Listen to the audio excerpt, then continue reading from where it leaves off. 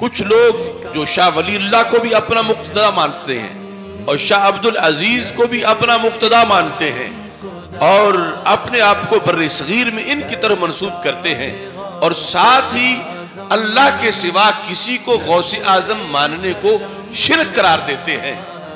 तो ये कैसे बंद गली में बंद है कि जिनके ज़रिए से अपना तारुफ करवाते हैं, वो तो ग्यारहवीं वाले पीर को गौस आज़म लिखते हैं। और किसी आम रिसाले में नहीं, यानी अपनी तफसीर के अंदर। रामतें तो इतनी है कि इबन तैमिया जैसे लोगों ने तस्लीम किया, इमाम जहबी ने तस्लीम किया, करामतों के तवातुर को। लेकिन आपने अकायद के लिहाज से जो जंग लड़ी और बद एतकादी जड़े पकड़ रही थी, उस सब का जो आपने सफाया किया और आला दर्जे पे किया तो इस बुनियाद पर आपको मोहिद्दीन का लकब अदा किया गया। हज़रत गौस पाक रदी अल्लाह तहो की एहयाए उम्मत की जिद्दोजहद आपकी तजदीद की कोशिश है और आपकी जो गौसियत है, वो इस इनफरादियत की है कि रबुल जलाल ने उन सब में से मोहिद्दीन होने का शरफ अलल इतलाक और आला नंबर पर उस अहद में जो अता किया तो वो मर्तबा ग्यारहवीं वाले पीर ही का मर्तबा है। ये आज का वहाबी ही मुनकर गौश नहीं। राफजी तो उनको सिरे से सैयद ही नहीं मान रहा। और आज कितने रिफत जदा आस्ताने हैं। एक तरफ़ जिलानी कहलवा रहे हैं, गिलानी कहलवा रहे हैं, कादरी कहलवा रहे हैं, और साथ जो है तफसीली बन गए हैं। या रफजी बन गए हैं। और अल्लाह के फजल से जो झंडा उस वक्त हज़रत गौसे पाक ने उठाया था, उनके फैज से थोड़ा सा वो काम करने की रब ने हमें भी तोहफी अता फरमाई है। बिस्मिल्लाहिर्रहमानिर्रहीम। रब्बी सदरी वयस्सिरली अमरी। वाहलुल उक़दतम मिन लिसानी यफ़क़हू क़ौली रदीतु बिल्लाहि रब्बा वबिल इस्लाम दीना वब मोहम्मद सल्लल्लाहु अलैहि वसल्लम नबिया व रसूला अल्लाह अकबर अल्लाह अकबर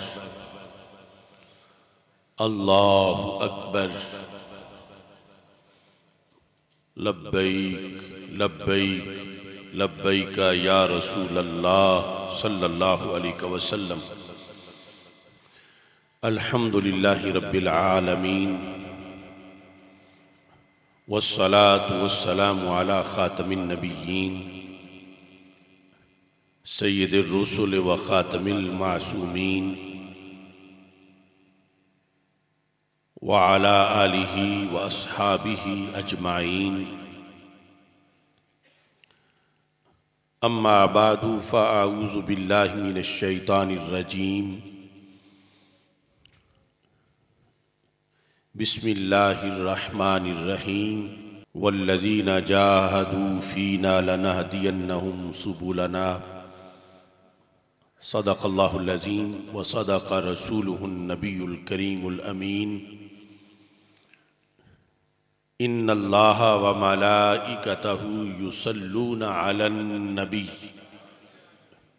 या अय्युहल्लज़ीन आमनू सल्लु अलैहि वसल्लिमु तस्लीमा अस्सलातु वस्सलामु अलैका या सय्यदी या रसूल अल्लाह व अला आलिका व अस्हाबिका या हबीब अल्लाह अस्सलातु वस्सलामु अलैका या सय्यदी या खातमन नबिय्यीन वाला आली का वसहाबी का या सैदी या ख़ातमल मासूमीन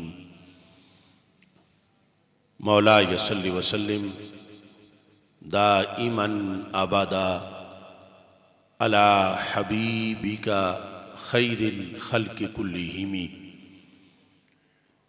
मुनज़्ज़ाउन अन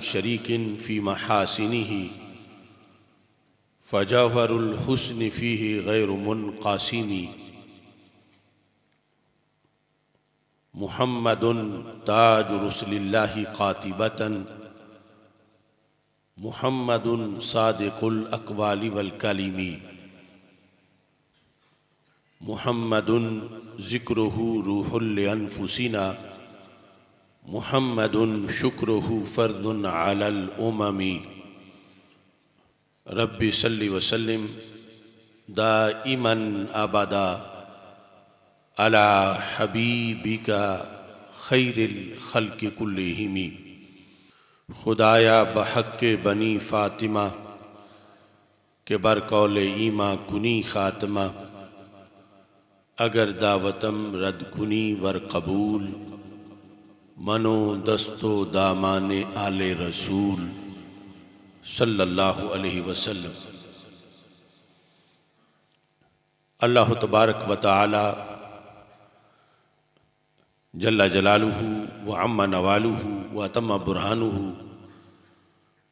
वाज़मा शानुहु व जल्ला ज़िक्रुहु व अज़्ज़ा इसमु की हमदो सना। और हजूर सरवर कायनात मफ़र मौजूदात, जीनत बज़म कायनात दस्तगीर जहाँ गम गुसार ज़मां। सैद सरवरां हामी बेकसां।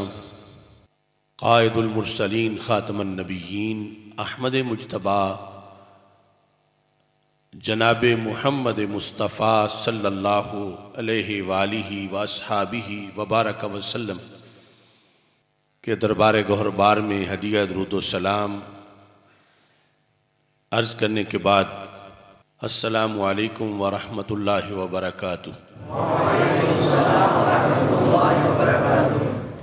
रबाल के फ़जल और तोफ़ी से किंदील नूरानी, शहबाज लामकानी, गौस समदानी मोहिल मिलत वद्दीन,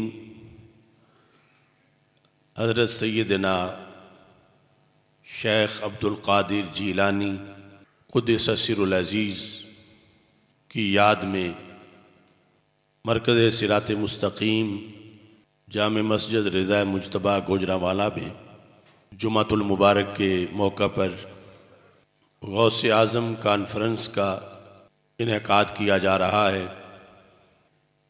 मेरी दुआ है खाल के कायनात जल्ला जलालहू। हम सबको हज़रत गौस आज़म रदी अल्लाह तह के फ्यूज़ व बरक़ात अता फ़रमाए एहिया उम्मत एहिया दीन के लिहाज से जो आपने किरदार अदा किया, उसके ज़ेर साया असर हाज़र में रबेज़ुलजलाल हमें भी उन्हीं खतूत पर काम करने की तोफ़ी अता फ़रमाए। आपकी ज़ात गिरामी इतनी जामे है कि आपके एक एक लकब पर और आपके नामों में से एक एक नाम पर एक एक किताब लिखी जा सकती है। इतनी कसरत है असमाओ अलकाब के लिहाज से। और उस पर भी इन हम सेमिनार्स मुनद करेंगे। इससे पहले मुख्तलिफ़ मौजूद छप भी चुके हैं तुलु गौस आज़म रहीम ताला के नाम से एक किताब इस वक्त मुख्तलफ़ मकालत पर मुश्तमिल मंजर यहाँ पे आ चुकी है और चंद दिन पहले हमने गौसीत गौस आज़म रहीम ताला, सेमिनार किया। और आज की गुफ्तु इनफरादियत गौस आज़म रहीम ताला के लिहाज से है। अल्लाह का करोड़ों बार शुक्र है कि खाल की कायनात जल्ला जलालू ने सैदुलमरसलिन ख़ातमनबीन अहमद मुशतबा जनाब महमद मुस्तफ़ा वालिहि वसहाबी वबारक वसल्लम की नस्बत से इस उम्मत में हमें बड़ी बड़ी हस्तियों का दामन अता किया है कि जो सिर्फ़ दुनिया में ही नहीं, बरज़ख में और माशर में भी अपने मानने वालों को अपनी मदद और अपनी हिमायत से सरफराज करने वाले हैं। हज़रत इमाम शारानी रहमतुल्लाह अलैह, आपने अलमीज़ानकुबरा के अंदर इस हकीकत को वाज लिखा, खुतबातुल किताब में सफ़ा नंबर तेरह पर आप फरमाते हैं कि जमीआमतलमजतदीन यशफ़ून फ़ी अतबाहिम वजुलाहिजून फ़ी जमी शदादिम कि ये उम्मत जिसके अंदर मुजद भी हैं, मुजतहद भी हैं, गौस कुतब अबदाल हैं, ये हस्तियाँ यशफ़ून फ़ी अतबाहिम अपने पैरोकारों के लिए शफात करने वाली हैं। वाजुलाजून हम फ़ी जमी शदादिम ये हस्तियाँ तमाम मुश्किलात में अपने मानने वालों का ध्यान रखती हैं। मुलाहजा करती हैं, उनका लिहाज करती हैं। कब कब कहते हैं फिर दुनिया वल बरज़ख व यौमल क़ियामा. दुनिया में भी और बरज़ख में भी और फिर क़्यामत के दिन में भी। सरवर कौनैन सुल्तानबिया हज़रत मोहम्मद मुस्तफ़ा सल्लल्लाहु अलैहि वसल्लम की नवाजशात। तो अपनी जगह आपकी उम्मत के अंदर आपके फैज़ से जो मुजद मुजतहद गौस कुतब अबदाल अलिया कराम, ये हस्तियाँ हैं, ये भी अपने अकीदतमंदों को ना दुनिया में महरूम रखती हैं, ना कब्र में और ना ही क़्यामत के दिन महरूम रखेंगी। हत्ता युजाविजुसराता क़्यामत के दिन बहुत से मराहल होंगे और हर मरहले में मदद दरकार होगी। हर मरहले के अंदर बड़ी हौफ हौल नाकियाँ और खौफनाक मराहल होंगे। तो ये कहाँ तक मदद करेंगे? इमाम अब्दुल वहाब शारानी कहते हैं, जब तक इनके मानने वाले पुल सिरात पार नहीं कर जाएँगे, उस वक़्त तक ये मदद करते रहेंगे। हत्ता युजा विजू असराता। यानी पुल सिरात से गुजरने तक, उसके आगे तो जन्नत है।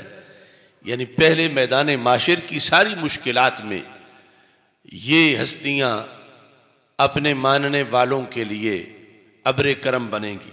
शेख अब्दुल हक मुहदस देलवी अशियतुल्लमात शर मिशकात के अंदर, बाबू ज़्यारतलकबूर में आपने ये लिखा।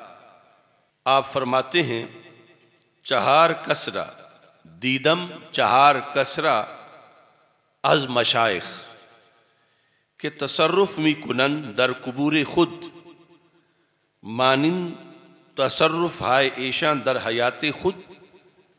या बेशतर। वो शेख अब्दुल हक जिन्हें महक्क अल इतलाक कहा जाता है और बर सग़ीर में ये जो धड़ेबंदी थी, जो अहल सुन्नत से जुदा होकर लोगों ने अपने अपने मसलक बनाए, उससे पहले जो बिल इतफाक बर सग़ीर में इल्म हदीस की हर सनद हज़रत शेख के ज़रिए से रायज हुई। आपने ये लिखा कि दीदम चहार कसरा मैंने चार हस्तियों को देखा। अज मशाइ मशाइ में से। क्या देखा? कि तसरफ मी कुनन दर कबूर खुद। कि वो अपनी कब्रों में भी तसरफ करते हैं। तसर्रुफ, किसी की मदद करना, मुश्किल हल करना, मुसीबत को दूर करना। अपनी कब्रों में भी वो तसर्रुफ करते हैं। कैसा तसर्रुफ? मानिंद तसर्रुफ आए ऐशा दर हयात खुद। जिस तरह वो हस्तियाँ अपनी ज़ाहरी हयात में तसर्रुफ करती थीं, मैंने उनको देखा, वो अपनी कब्र, कब्रों में भी वैसा ही तसर्रुफ करती हैं। कब्रों में जाकर भी वो मददगार हैं, वो गौस हैं। बल्कि फरमाते हैं, या बेशतर या तो ज़िंदगी के तसरुफ जितना तसरुफ करते हैं, या फिर उससे भी ज़्यादा तसरुफ करते हैं। ज़िंदगी के तसरुफ की मिसल या उससे भी जायद तसरुफ कब्रों के अंदर वो हस्तियाँ करती हैं, उनमें से दो का आपने नाम इस मकाम पे ज़िक्र किया। कहते हैं, शेख मारूफ करखी व शेख अब्दुल कादिर जीलानी व दो कस दीगर रा अज औलिया शमुर्दा। उन चार में दो हस्तियाँ तो और हैं, लेकिन दो हस्तियों के जो नाम हैं, वो एक सैदना शेख मारूफ करखी रहमल्ला ताला हैं, और दूसरे हज़रत सैदना शेख अब्दुल कादिर जीलानी रहमल्ला ताला। जलाल ने कबूर के अंदर भी इनको ज़ाहरी हयात जैसा या उससे भी ज़्यादा फैज़ान बांटने तसरुफ करने का इख्तियार अता फरमाया। और ये दोनों हस्तियाँ जिनका यहाँ ज़िक्र है, दोनों के मराकद बगदाद शरीफ में है। हज़रत मारूफ करखी रहमल्ला ताला और हज़रत गौस आज़म रहमल्ला ताला। हज़रत गौस आज़म के लिहाज से जो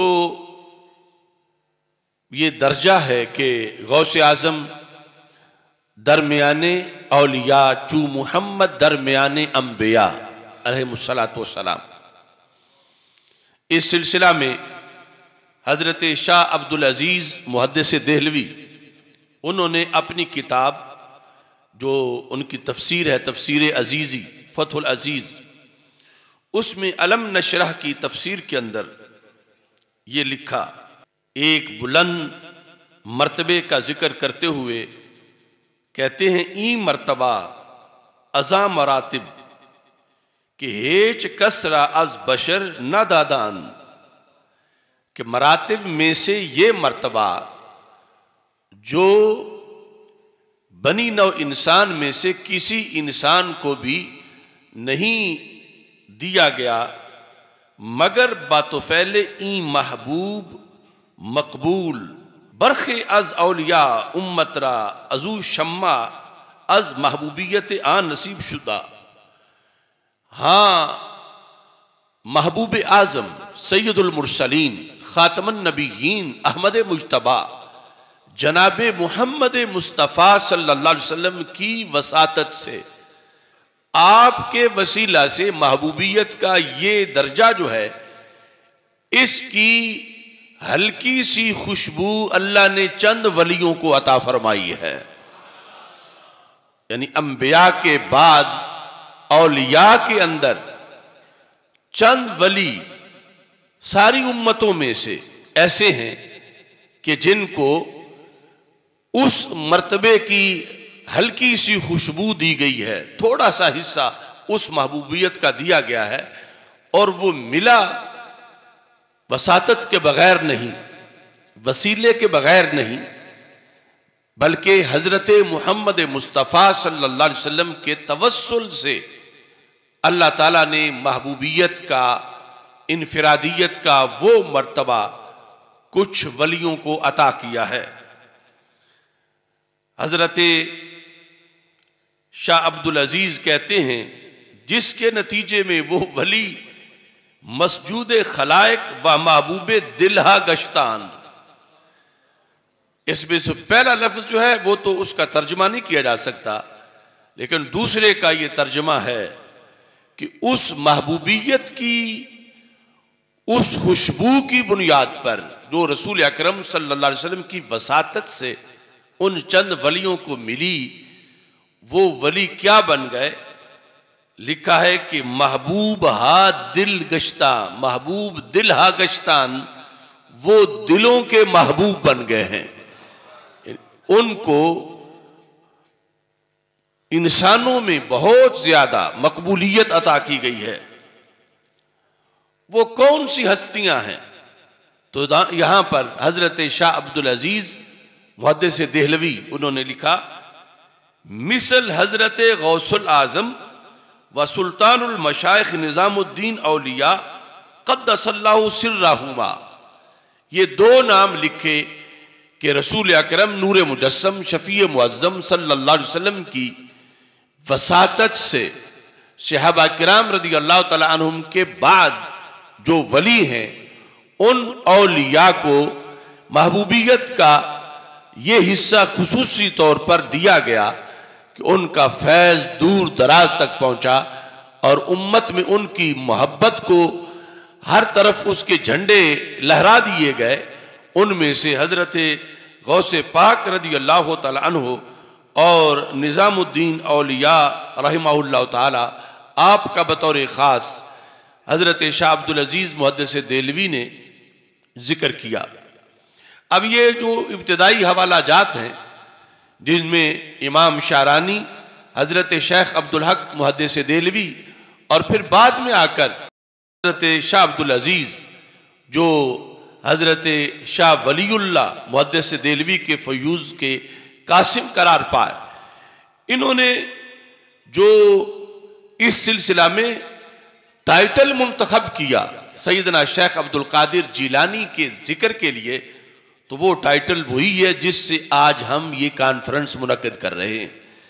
लिखा कि हज़रत गौसल आज़म, के गौस आज़म रहमल्ला को महबूबियत का अल्लाह ने खसूसी मरतबा अदा किया। आज धड़ाबंदी के बाद और फिरका वारियत के बाद कुछ लोग जो शाह वली को भी अपना मुक्तदा मानते हैं और शाह अब्दुल अज़ीज़ को भी अपना मुक्तदा मानते हैं और अपने आप को बर सगीर में इनकी तरफ़ मनसूब करते हैं और साथ ही अल्लाह के सिवा किसी को गौस आज़म मानने को शिरक करार देते हैं। तो ये कैसे बंद गली में बंद है कि जिनके ज़रिए से अपना तारुफ करवाते हैं, वो तो ग्यारहवीं वाले पीर को गौस आज़म लिखते हैं। और किसी आम रिसाले में नहीं, यानी अपनी तफसीर के अंदर, ये गौस आज़म का लफज लिखा और यहाँ तक कि इस्माइल देलवी ने सिरात मुस्तकीम में गौसे आज़म का लकब लिखा, हज़रत गौसे पाक के लिए। तो दुनिया ने अपने आप को बदला घड़ी घड़ी एक हम महल इश्क हैं, जहाँ थे वही रहे। बदले ये हैं, भटके ये हैं, हक को छोड़ा इन्होंने है। हम तो उसी रस्ते पर कायम हैं कि अल्लाह का हुक्म ना हो तो कोई पत्ता भी नहीं हरा सकता। और अगर अल्लाह चाहे तो रब जैसे किसी लकड़ी को अपनी मदद का मजर बना सकती है तो फिरौन के सांपों के मुकाबले में तोहीद की वो असा भी मददगार बन जाता है और उस पर अल्लाह की तजलियात का नजूल होता है। और जो मोमिन है और कामिल मोमिन है, उस पर तो उसके दिल पर रोज़ाना 360 जलवे नाजिर होते हैं। इन अल्लाह तला कलबिल मोमिन फ़िकुल योमिन सलासमियाती सित्तीन नजरतन। जलाल कामिल मोमिन के दिल पर रोज़ाना 360 बार तजल्ली फरमाता है। तो जिस लकड़ी पे एक जलवा गिरे, उसको इतनी कुदरतों का मजर होने का मकाम मिल जाता है। तो ये कामिल अलिया जो हैं, इनके ऊपर जब इतनी तजल्लियात का नजूल होता है तो ये यकीनन दस्तगीर भी बन जाते हैं, गरीब नवाज़ भी बन जाते हैं, गौस आज़म भी बन जाते हैं, गंज बख्श भी बन जाते हैं और ये सारे का सारा अल्लाह की कुदरतों का इजहार है।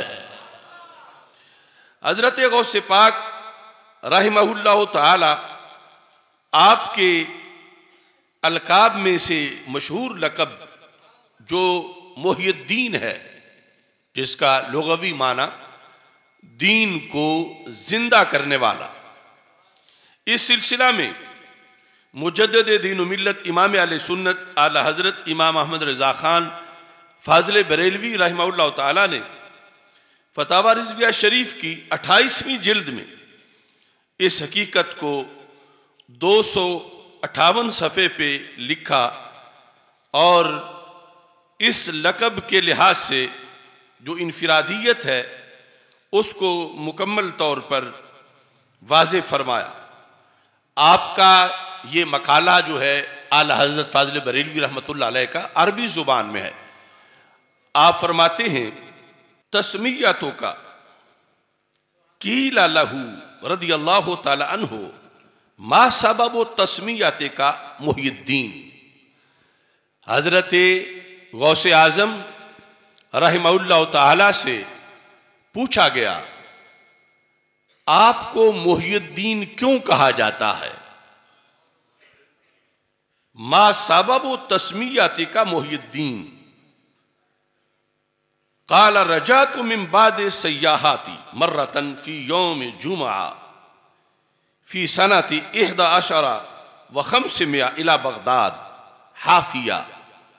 फरमाते हैं कि मैं अपने किसी सफ़र से जुमा के दिन वापस आ रहा था बगदाद शरीफ की तरफ़। और ये ज़माना था 511 हिजरी का। 511 हिजरी में मैं किसी सफ़र से वापस बगदाद शरीफ आ रहा था, हाफिया, नंगे पाँव। दरा हाल के मैंने जूता नहीं पहना हुआ था फमरर तो बेशख्सिन मरीदिन मुतगैर लौन नहीं फिल बदन मैं एक ऐसे शख्स के पास से गुजरा कमज़ोरी की वजह से जिसके चेहरे की रंगत बदली हुई थी चेहरा जर्द था बदन उसका नहीफ था और वो शख्स मरीज़ नज़र आ रहा था फ़काल अली अस्सलाम का या अब्दल कादिर। तो उस शख्स ने मुझे सलाम कहा का या अब्दुल कादिर। इन अल्फाज के साथ। फरदत सलाम।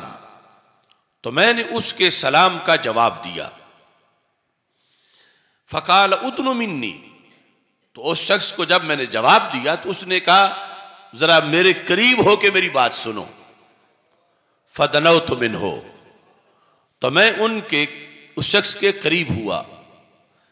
फ़काल अली अजलिसनी वो शख्स, चूँकि अलालत और कमज़ोरी की वजह से ज़मीन पे लेटा हुआ था, उसने मुझे ये कहा अजलिसनी मुझे बिठाओ। कहते हैं अजलस तो हूँ। तो मैंने सहारा देकर लेटे हुए शख्स को बिठाया।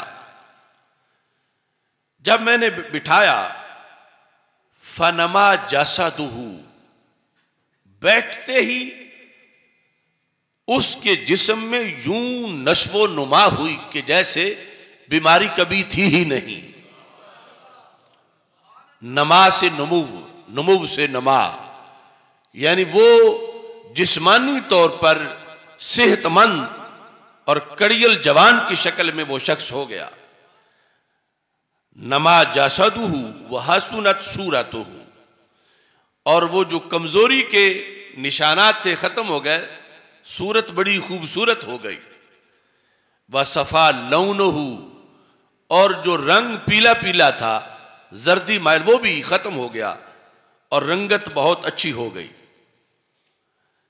जिस वक़्त ये सारी चीज़ें अचानक उसमें ये तब्दीलियाँ आई तो हज़रत गौसे पाक रदी अल्लाह तु कहते हैं फ़िफ तो मिन हो मुझे उससे खौफ आने लगा कि अचानक ये किस तरह इसमें इतनी तब्दीली आ गई है। अभी इसकी सूरत हाल क्या थी? और इसने कहा कि मुझे बिठाओ, मैं बैठ, बिठाया है मैंने और इतने में अब इसकी कमज़ोरी भी दूर हो गई और इन सारी अच्छी तब्दीलियाँ थी, मगर बहुत जल्द वो जो कुछ रूनमा हुआ, उससे मुझे खौफ आने लगा कि ये कौन सी मखलूक है और ये क्या मामला है। कहते हैं, फ़काला, अब उसने कहा, अतारे फोनी, आप मुझे पहचानते हैं कि मैं कौन हूँ? फ़कुल तो ला तो मैंने कहा कि मैं तो नहीं पहचानता आपको, आप खुद अपना तारुफ करवा दें। काल अनद्दीन। तो उस शख्स ने कहा जो पहले कमज़ोर था, उसने बोल के कहा, अनद्दीन, मैं दीन हूँ। वह कुन तो दुस्सिर तो कमा रही तनी और मेरी सूरत वही थी जो तुमने अभी देखी कि मैं इतना कमज़ोर हो चुका था और इस हद तक मर्ज लायक था। वकद ताला बिका। रब ने आपके ज़रिए से मुझे ज़िंदा कर दिया है।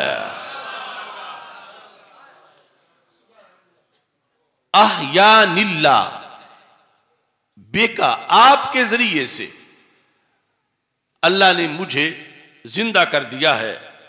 और साथ कहा, व अंता मोहिद्दीन लिहाजा आप मोहिद्दीन हैं। दीन को ज़िंदा करने वाले। हैं तो हज़रत गौसे पाक रदी अल्लाह तहो सिर्फ़ एक साहिब करामत वली ही नहीं। यानी करामतें तो इतनी है कि इबन तैमिया जैसे लोगों ने तस्लीम किया, इमाम जहबी ने तस्लीम किया करामतों के तवातुर को। लेकिन आपने अकायद के लिहाज से जो जंग लड़ी, आलम इस्लाम में और फ़िका और अहवाल इंसानियत की तब्दीली के लिए जो आपने किरदार अदा किया और उस वक़्त जो खराफात राइज हो चुके थे उम्मत के अंदर और बद एतकादी जड़ें पकड़ रही थी, उस सब का जो आपने सफाया किया और आला दर्जे पे किया तो इस बुनियाद पर आपको मोहिद्दीन का लकब अदा किया गया। अब इसमें हज़रत गौसे पाक रदी अल्लाह तहो आपकी, यानी ये जो आपने साथ सन भी बयान किया 511 हिजरी, उससे पहले भी हज़ार हा औलिया हैं, बाद में भी हज़ार हा औलिया हैं। और कुछ, हर एक वली फैज बांटता रहा, और जो रसूल अकरम सल्लल्लाहु अलैहि वसल्लम की ख़त्म नबूवत का फैज़ान है कि नबी तो कोई नहीं आ सकता, मगर इस उम्मत के अंदर से ऐसी हमेशा कुत उभरेगी कि जो जितनी भी अंधेरों की कोशिश होगी, उसे हटा के सवेरे आबाद करेगी। तो सिहाबा किराम रदी अल्लाह तलानुम के बाद ताबीन, तब ताबीन में भी बड़े बड़े अलिया थे, और फिर उनकी जिद्दोजहद है, उनकी काविशें हैं। लेकिन चलते चलते फिर जाकर ये जो छठी सदरी हिजरी थी, इसके अंदर एक कमज़ोरी रूनमा हो चुकी थी जो मुख्तलिफ़ किस्म की हुकूमतों के नतीजे में इस्लाम के अंदर कुछ चीज़ें, खराफात और कमज़ोरियाँ आई थी। तो हज़रत गौसे पाक रदी अल्लाह तु को रबुल जलाल ने उन औलिया में से भी ये फोकियत अता फरमाई कि जो अपना काम तो करते रहे लगे मगर एहया की फिर भी ज़रूरत पड़ गई थी और फिर भी सूरत हाल ऐसी थी कि रंग का मुतगैर होना और कमज़ोरियों का आ जाना और हज़रत गौसे पाक रदी अल्लाह तहो कि एहयाए उम्मत की जिद्दोजहद आपकी तजदीद की कोशिशें और आपकी जो गौसियत है वो इस इनफरादियत की है कि रबुल जलाल ने उन सब में से मोहिद्दीन होने का शर्फ अलल इतलाक और आला नंबर पर उस अहद में जो अता किया तो वो मर्तबा ग्यारहवीं वाले पीर ही का मर्तबा है। इसके बाद आला हज़रत फाजल बरेलवी रहमत कहते हैं कि हज़रत गौस पाक रदी अल्लाह तु फरमाते हैं, जब उसने मुझे कहा अनता मोहिद्दीन फ़तरक तो वन सरफ तो इलल जाम। मैं उससे रुखसत हुआ और शहर बगदाद में दाखिल हुआ और जो बगदाद शरीफ की जाम मस्जिद थी, उस तरफ़ मेरा रुख था। फलाक यानी राजुलन आप एक और मर्द मुझे मिला। मैं चूँकि नंगे पाँव था, ववादा अली नालन, उसने मेरे लिए जूते रखे। जोड़े रखे, वकाला या सैदी मोहिद्दीन या सैदी मोहिद्दीन ये कहकर उसने मुझे आवाज़ दी। हज़रत गौस पाक फरमाते हैं, तीसरा मरला ये था, इसके बाद मैं नमाज़ में शरीक हो गया, फलम्मा कदई तो सलाता, जब मैंने नमाज़ पूरी कर ली। अहर अन्नासु इलैया तो हर तरफ़ से लोग मेरी तरफ़ जल्दी से लपके। युकबिलू न यदैया वो मेरे हाथ चूम रहे थे, या यदि मेरा हाथ चूम रहे थे वह यकूलू न या मोहिद्दीन, और साथ या मोहिद्दीन की सदाएँ बुलंद कर रहे थे।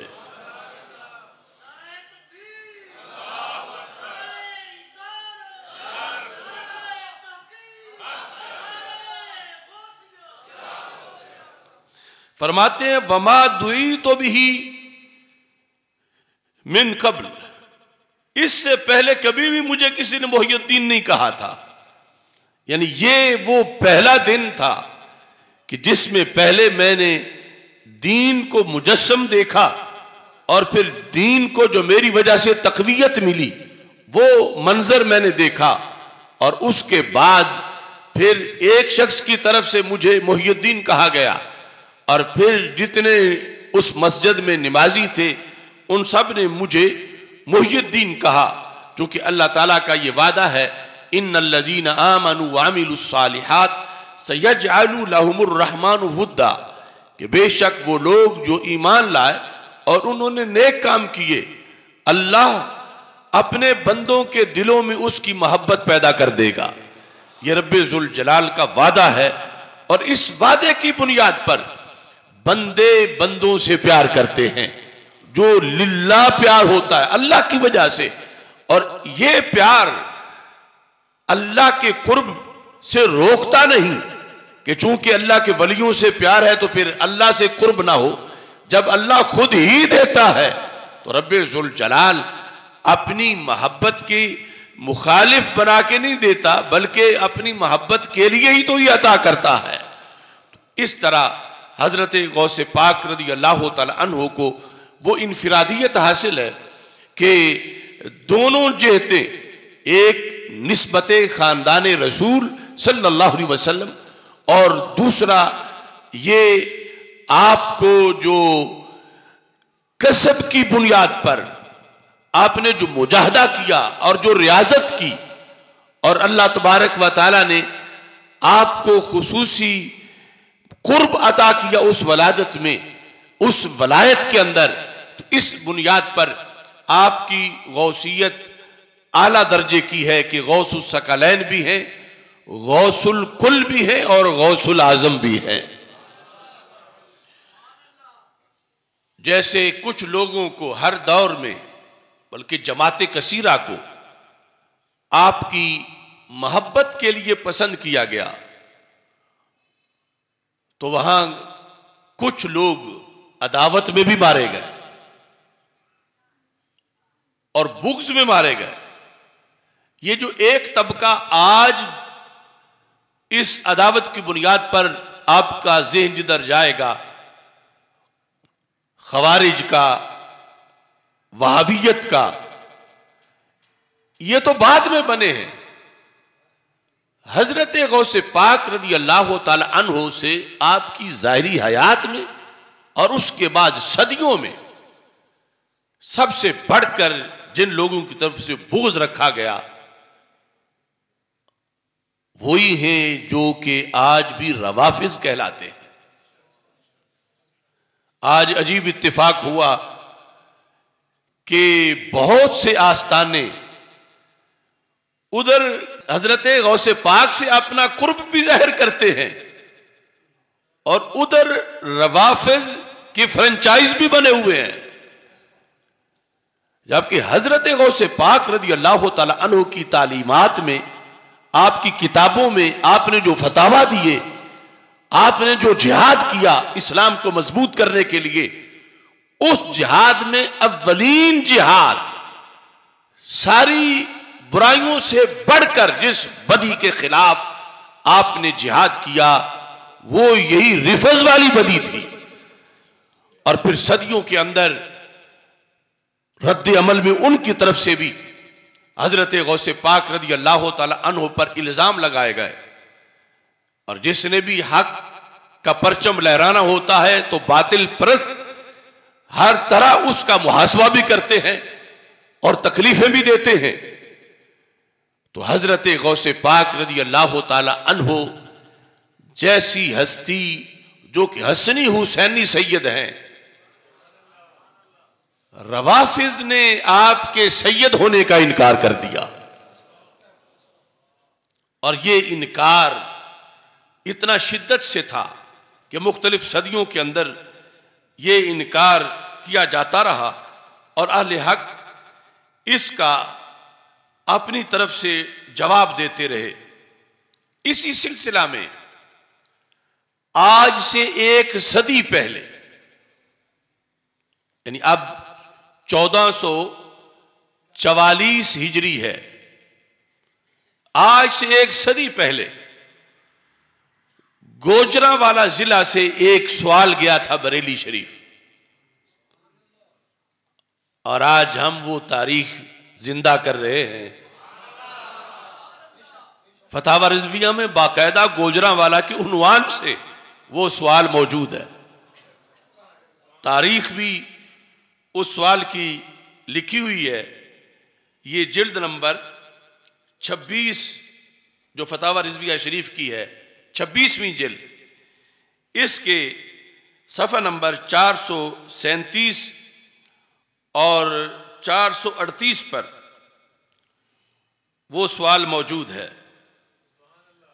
सवाल का नंबर है दो नंबर सवाल। आज वजीराबाद मोहल्ला लक्कड़ मंडी जिला गोजरा वाला ये रजबिया में उस सवाल की पूरी डिटेल लिखी हुई है। यानी ये इलाका कितना करीब था बरेली शरीफ के उस वक्त भी। ऐसे में बहुत से सवाल देख रहा था, ये डस्के के पास जो दामों की है, यहाँ से भी किसी उस वक्त आला हज़रत से मसला पूछा और इधर से भेजा और ये लक्कड़ मंडी मोहल्ला, वजीराबाद जिला गोजरा वाला तेरह सौ उनतालीस हिजरी को ये सवाल पूछा गया। यानी तकरीबन एक सदी और पाँच साल इसको हो गए हैं। आला हज़रत फाजिल बरेलवी रहमत से मसला पूछा गया गौसे पाक रही के बारे में। अगर हम अपने बुज़ुर्गों का ये लिखा हुआ ही याद कर ले तो आज हमें कोई लूट नहीं सकता। इतना कुछ वो लिख गए हैं फतावा के अंदर, अपनी किताबों के अंदर। तो उसमें सवाल ये था, क्या फरमाते हैं ओलमाए दीन इस मसला में कि शिया लोग कहते हैं कि हज़रत सैयद अब्दुल कादिर जिलानी रहमत सैयद नहीं माजल्ला यानी पूछने वाला सुन्नी है और सैयद से ही ज़िक्र कर रहा है।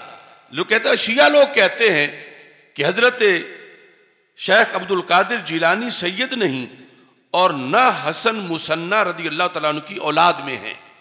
लिहाजा आप हमें बाहवाला इसका सबूत दे कि गौसे पाक रदी अल्लाह तु सैयद है।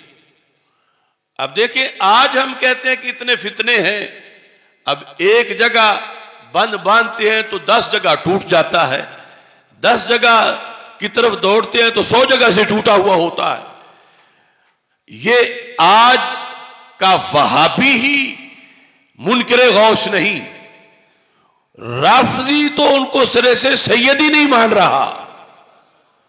और आज कितने रिफत आस्ताने हैं। एक तरफ़ जिलानी कहलवा रहे हैं, गिलानी कहलवा रहे हैं, कादरी कहलवा रहे हैं, और साथ जो है तफजीली बन गए हैं, या रफजी बन गए हैं।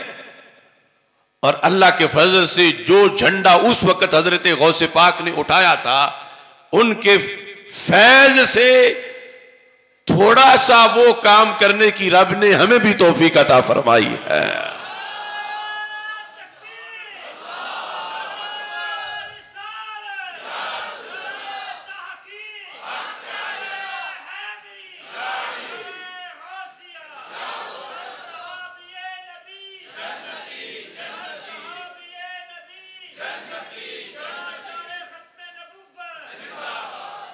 आज के भोले सुन्नी को ये भोले सुन्नी को ये तो पता है कि फुला ने मेरे बाप को गाली दी थी मैंने ज़िंदगी भर उससे नहीं बोलना।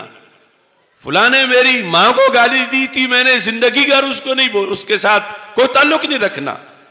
लेकिन ये सुन्नी ये भी तो सोचे कि जिसके साथ उसकी यारी है, वो तो रोज़ाना हज़रत सिद्दीक अकबर को गालियाँ देता है, हज़रत फारूक आज़म को गालियाँ देता रदी अल्लाह तला उम्मुल मुबीन आयशा सिद्दीका रदी अल्लाह तला को गालियाँ देता, कितनी मुकद्दस हस्तियों को, यहाँ तक कि वो तो तेरे गौस पाक को सैयद ही नहीं मानता, और तू उसे मुहिब आले बैत माना हुआ है, और उसकी आले बैस इतनी दुश्मनी है, अब आम बंदा जिसका बेटा हो, उससे उसकी नफी की जाए कि ये फुला का नहीं है, उसको कितना दुख होता है।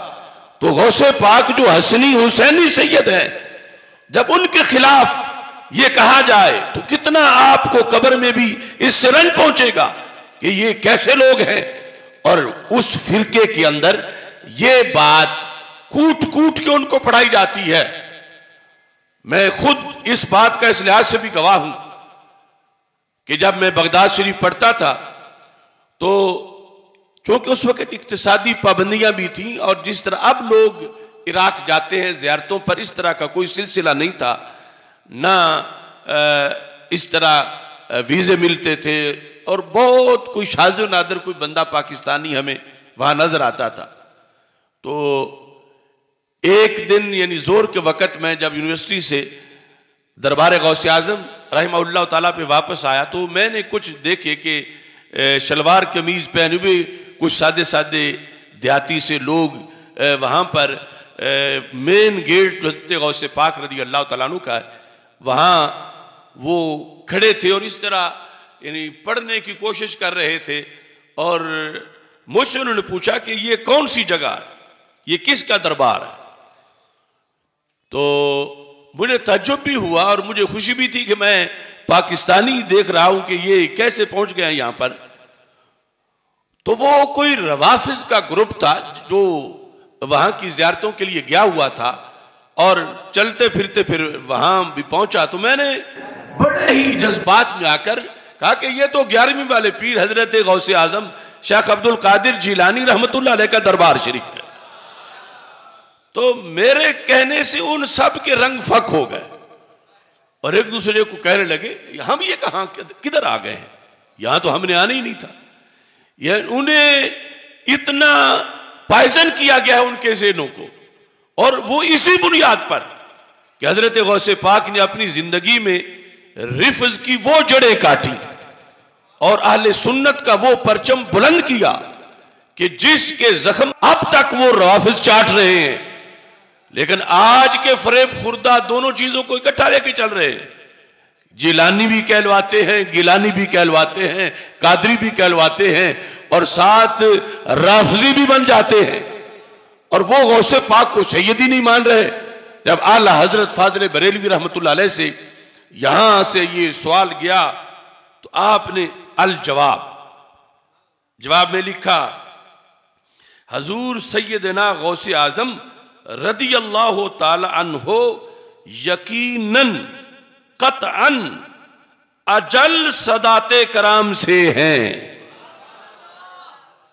यकीनन कतन अजल सादात किराम से हैं। हजूर गौसे पाक की सियादत मुतवातर है। मुतवातर है। यानी जैसे हदीसें मुतवातर होती हैं कि जिनको एक जमात पूरी जमात से रवायत करे। एक तो है ना, एक बंदा एक बंदे से रवायत करे। मुतवातर वो है कि हर जमाने में एक जमात पूरी जमात से रवायत करे। तो गौसे पाक रदी अल्लाह तहों ने लिखा कि बाकी वो कई सैयद तो ऐसे हैं कि वो खबर वाहिद से सैयद हैं। किसी एक ने उनके सैयद होने की खबर दी, या कोई एक नसब नामा या शजरा मिला तो ये तो उन सैयदों में से हैं कि जिनकी सियादत मुतवातर है। यानी उस वक़्त से लेकर इस वक़्त तक हर हर इलाके में जमाते कसीरा, जमात कसीरा से रवायत करती आई है कि शेख अब्दुल कादिर जिलानी अहल बैत रसूल सलाम के गुलशन के बड़े ही खुशबूदार फूल हैं।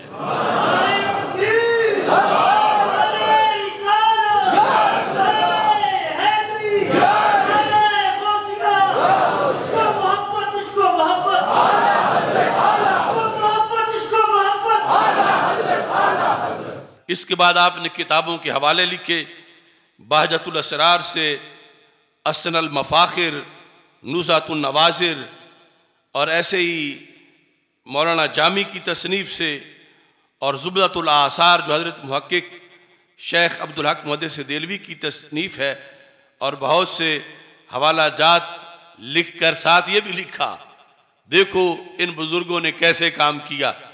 अब ये छब्बीसवीं जिल्द है।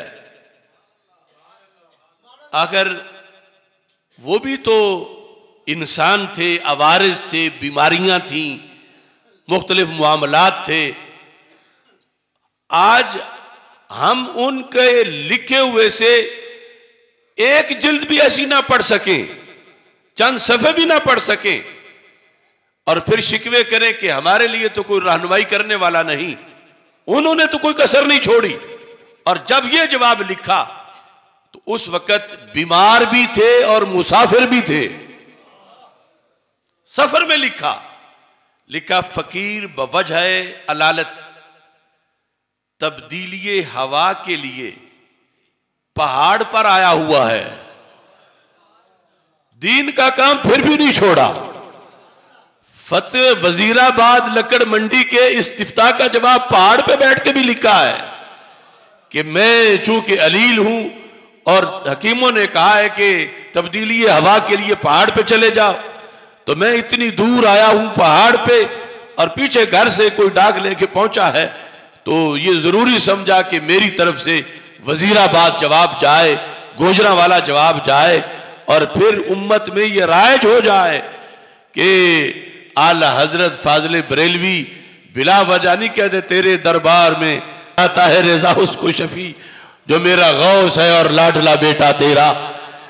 वहाँ भी ये ज़रूरी समझा कि इनकी सियादत का दिफा किया जाए। और आखिर में आप फरमाते हैं, राफजियों के यहाँ तो मेयार सियादत रिफ्ज है। राफजियों के यहाँ मेयार सियादत, रिफ्ज है। और रिफ्ज क्या है? रिफ्ज मुजद साहब रहमत ने लिखा कि मौला अली का प्यार रिफ्ज नहीं, खुलाफाए सलासा का बुगज रिफ्ज है। इन वो तो कहते हैं ना, हम अली अली कर दिया तो बंदे कहते हैं, ये राफजी हो गया। मुजद साहब ने फरा ये झूठ है। अली अली करने से बंदा राफजी नहीं बनता। सिद्दीक उमर और उस्मान रज़ी अल्लाह तलानुम इनके बुगज दिल में हो तो फिर बंदा राफजी बनता है।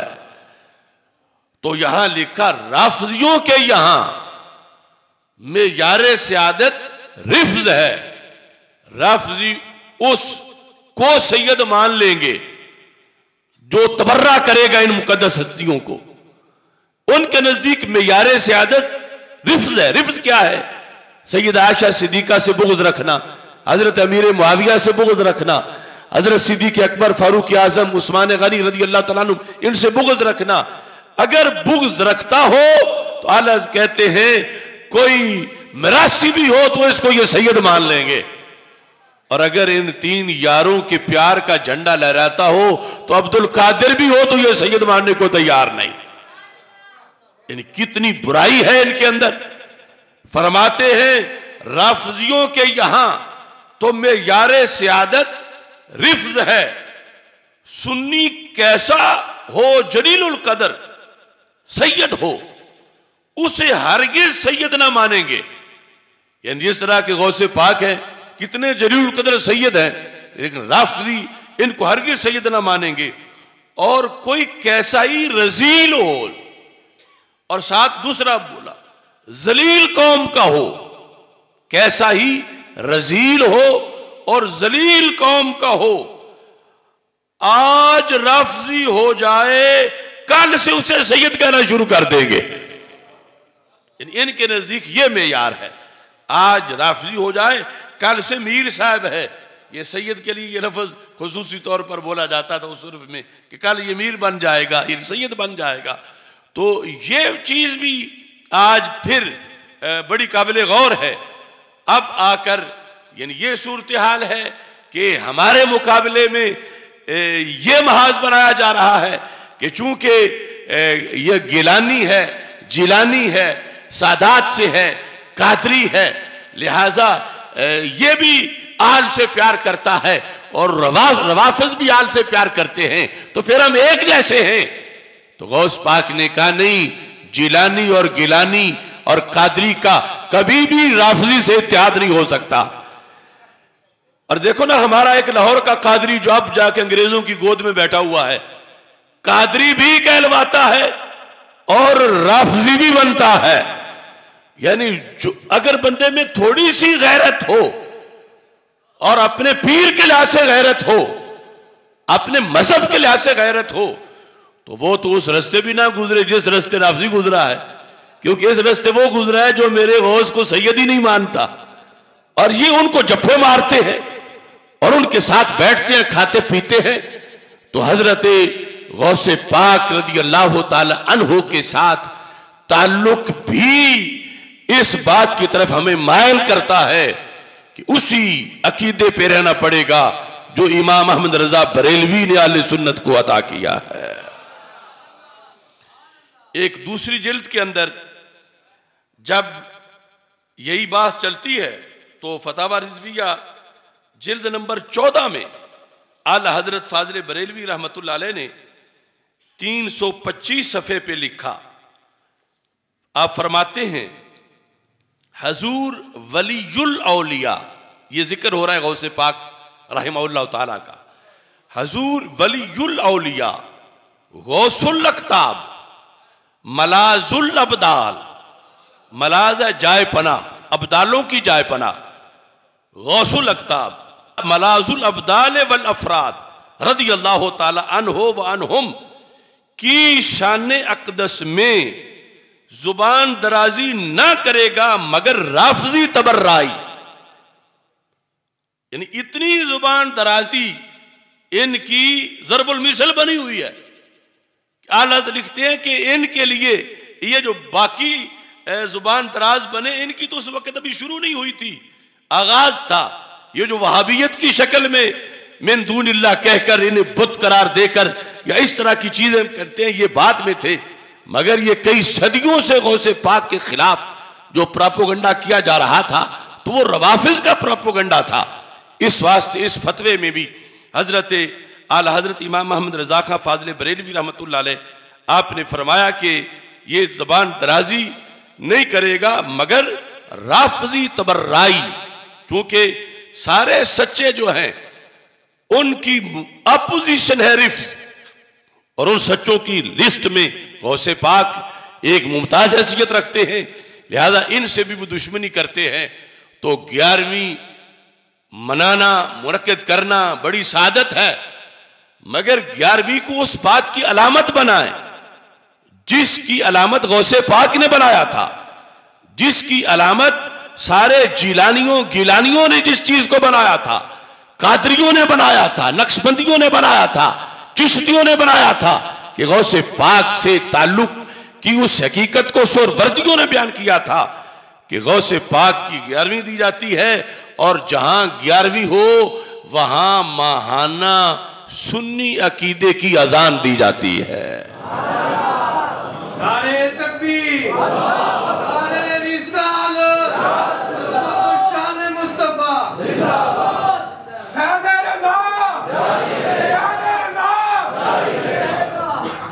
अब तेरहवीं जिल्द में फतावा रिजविया शरीफ के अंदर 600 सफ़े पर एक मंजर ज़िक्र है इनफरादियत गौस आज़म रदी अल्लाह तहो का।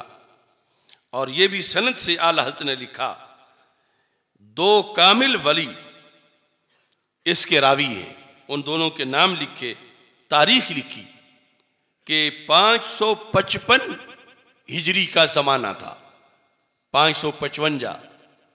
पाँच सौ पचपन हिजरी का जमाना था।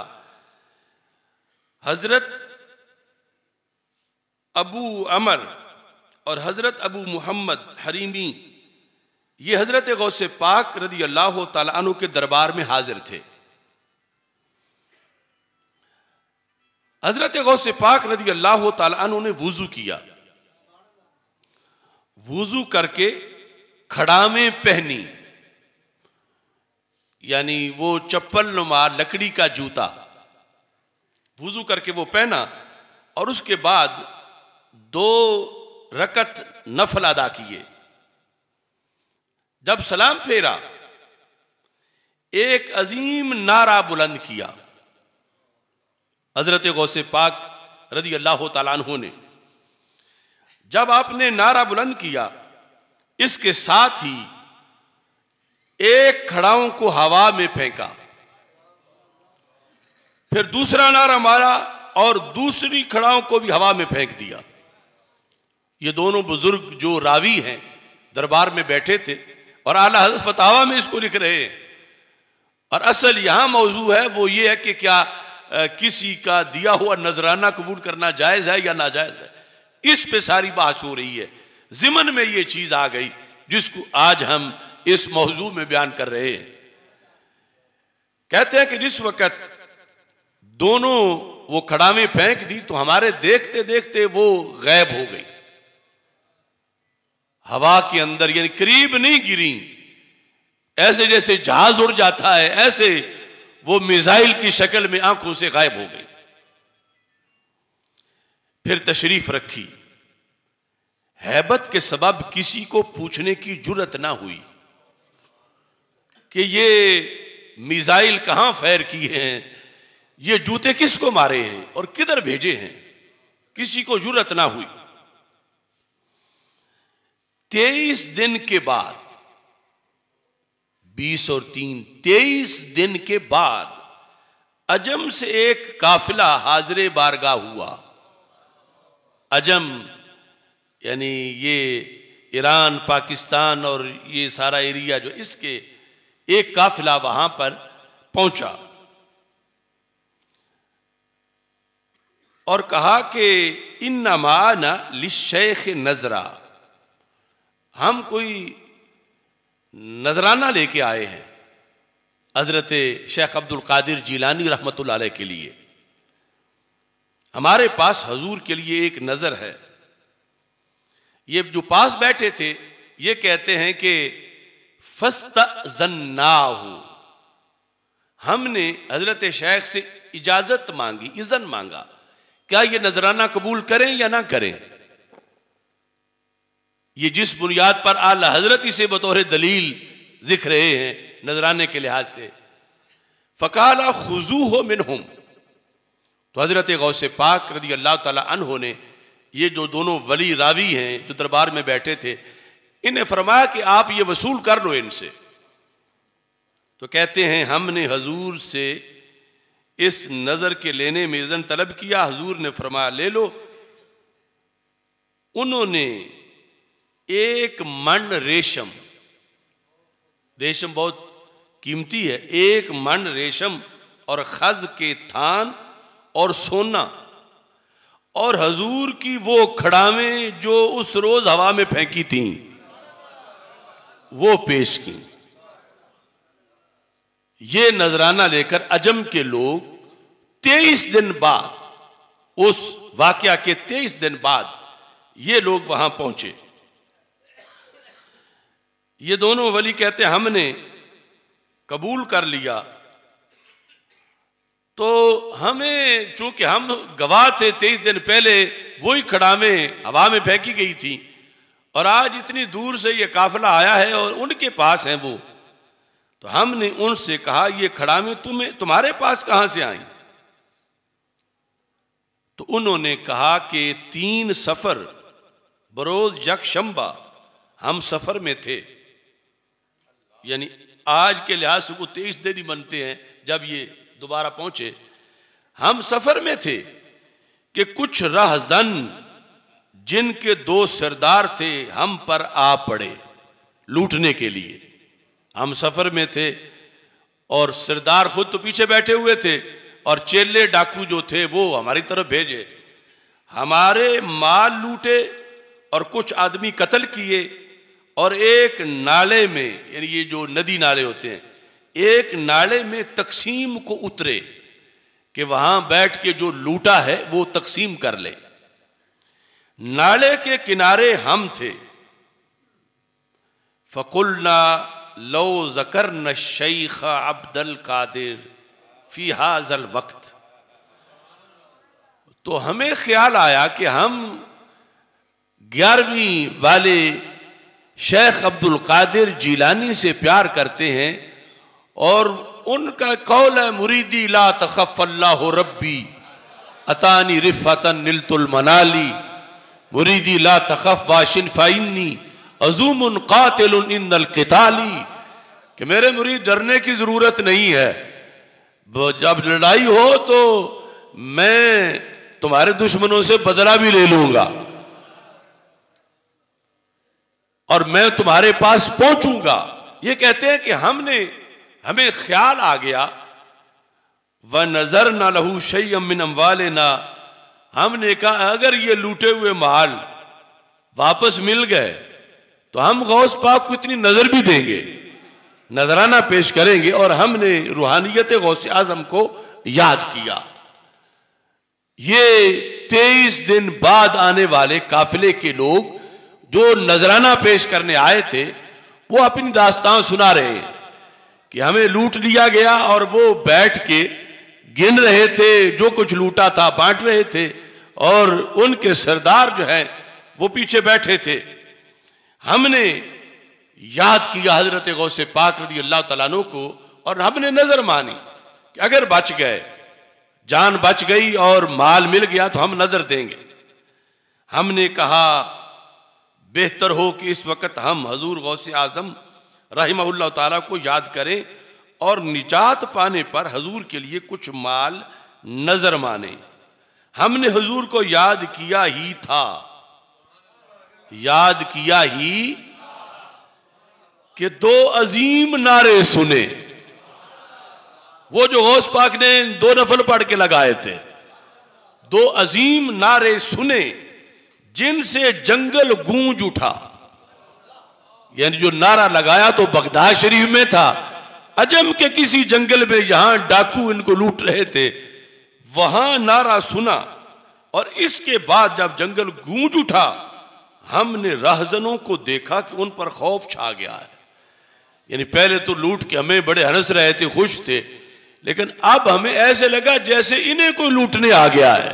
यानी जैसे इनको खतरा हमें कोई मार देगा और हमें कोई लूट लेगा। हम समझे इन पर कोई और डाकू आ पड़े हैं कि ये हमें लूट रहे थे।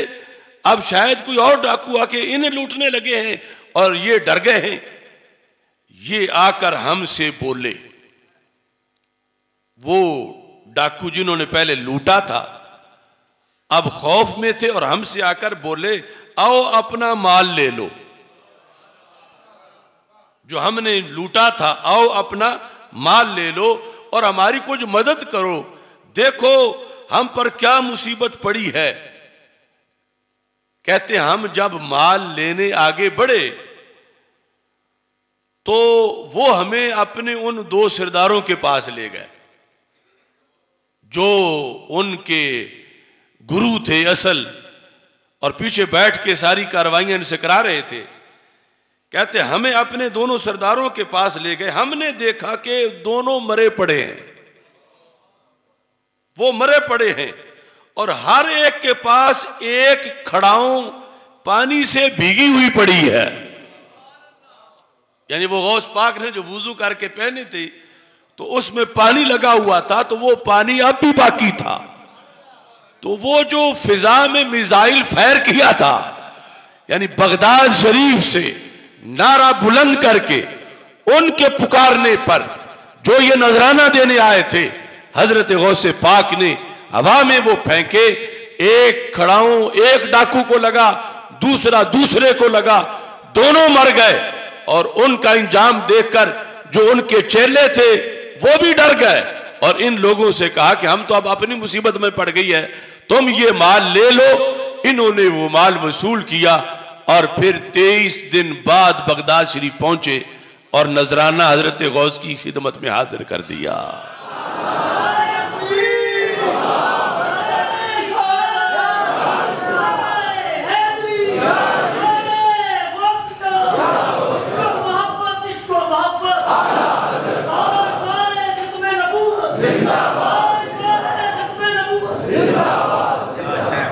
ये एक झलक थी आज के मौजू के लिहाज से।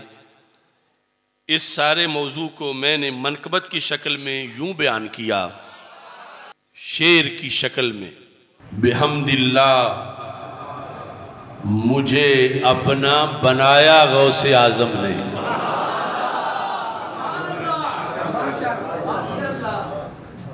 कैसे? बेहमदिल्ला मुझे अपना बनाया गौस आज़म ने मुझे दहलीज पे अपनी पढ़ाया गौस आज़म ने।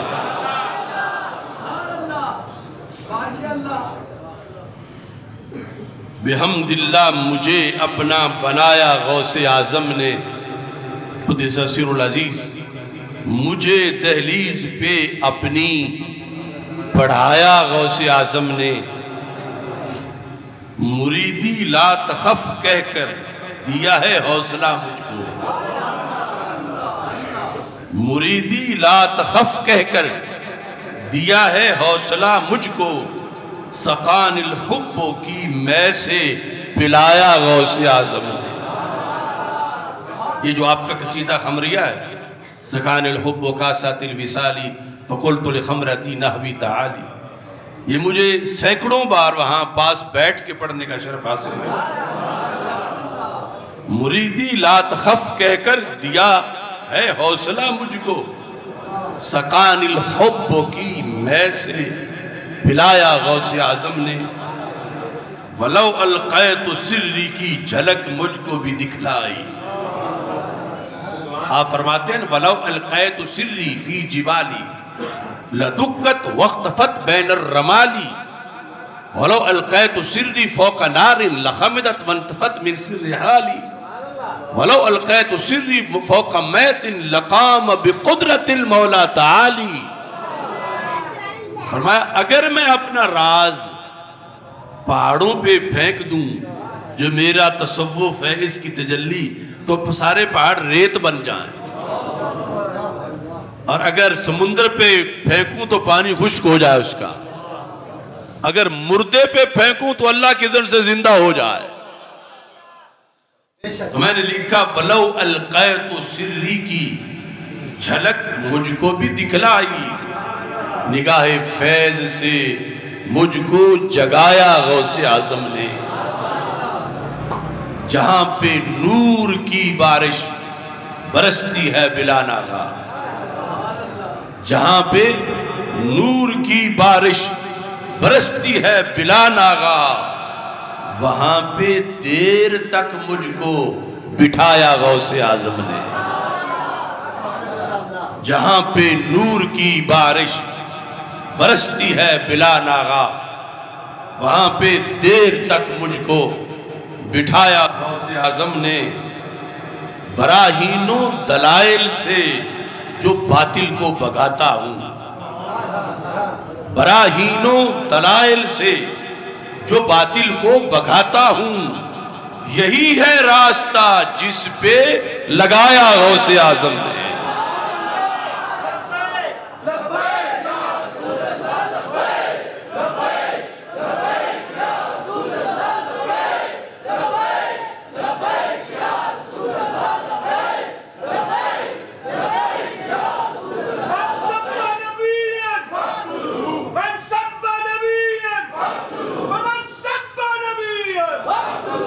मुझे बहुत याद है जब मैं मरकज़ी जामिया मोहम्मदिया नूरिया रिजविया बिक्की शरीफ से दौरा हदीस कर चुका था और उधर से पंजाब यूनिवर्सिटी से एम ए अरबी भी कर चुका था और मज़ीद आगे तालीम के लिए बैरून मुल्क जाने का प्रोग्राम बन रहा था। ये मेरे आज उस वक़्त के दोस्त मौलाना एजाज अहमद जलाली साहब सामने बैठे हैं, कार सिकंदर याद जलाली साहब। इन सब के सामने मेरा सारा वक़्त गुजरा है। तो कायद सुन्नत मौलाना शाह अहमद नूरानी सिद्दीकी रहमत से इस सिलसिला में चूँकि बगदाद शरीफ दाखिले के लिए कहा गया था और सख्त हालात की वजह से दाखिला मुश्किल करार पाया। और आपने मुतबादल एक यूनिवर्सिटी जो लीबिया में थी, उसका ज़िक्र किया। यानी वहाँ दाखिला आसानी से हो सकता। तो फिर खुद ही मौलाना शाह नूरानी रहमत फरमाने लगे कि नहीं, बंदा घर से दूर हो तो फिर बगदाद शरीफ में तो हो। तो लीबिया वाला ऑप्शन खुद ही आपने मुस्तरद कर दिया। और फिर दोबारा कोशिश की और बगदाद शरीफ दाखिला हुआ और कराची से मुझे आपने रुखसत किया। हम बाई ट्रेन कराची गए। तो वहाँ से आपने रुखसत करते हुए बहुत सी हिदायत दी। और ये कहा कि चूँकि हालात तो सख्त हैं, खाने पीने के लिहाज से अमेरिका पूरी पाबंदियाँ लगा बैठा हुआ है, वहाँ के अपने लोग जो उनके लिए बड़े मसाइल हैं। तो तेरा कोई भी मसला हो तो तूने और कहीं नहीं जाना। तूने ग्यारहवीं वाले पीर के दरबार पे बैठ जाना। और फिर मुझे वहाँ ही रहश भी मिल गई। और फिर असल, यानी उसके अंदर वो मज़ीद जो है वो इस सिलसिला में जो दर वहाँ खुले थे, वो पीछे सूरत हाल थी। तो वहाँ पर फिर, यानी गया तो एक कोर्स के लिए था, फिर अल्लाह ताला ने कई दरवाजे खोले और एक तवील वक़्त तक फैज़याब होने का मौका मिला और जो वज़ाइफ थे, यो यहाँ हमारे आसान आलिया शरकपुर शरीफ का हज़रत शेर रब्बानी रहमत का वजीफ़ा है, या शेख सैयद अब्दुल कादिर जीलानी शेह अल्लाह। वहाँ इसकी असनाद भी मुझे अता की गई। और ये लफ्ज़ मैंने उस बुनियाद पे लिखे बराहीनो दलाइल से जो बातिल को बघाता हूँ, यही है रास्ता जिस पे लगाया गौ से आज़म ने। खुदा ने इस कदर कुत अता की दस्ते मीरा को। अभी वो खड़ामा वाला वाक्य तो आपने करामत सुन ली। खुदा ने इस कदर कुत अता की दस्त मीरा को न उठा फिर कभी जिसको गिराया गौ से आज़म ने। खुदा ने इस कदर कुत अता की दस्त मीरा को न उठा फिर कभी जिसको गिराया गौ से आज़म ने। आखिरी शेर दुआ का है, खुदाया लह लहाए वो हमेशा ही बुलंदी पर। खुदाया लह लहाए वो हमेशा ही बुलंदी पर। आलम जो दस्ते आसिफ में थमाया गौसे आज़म ने।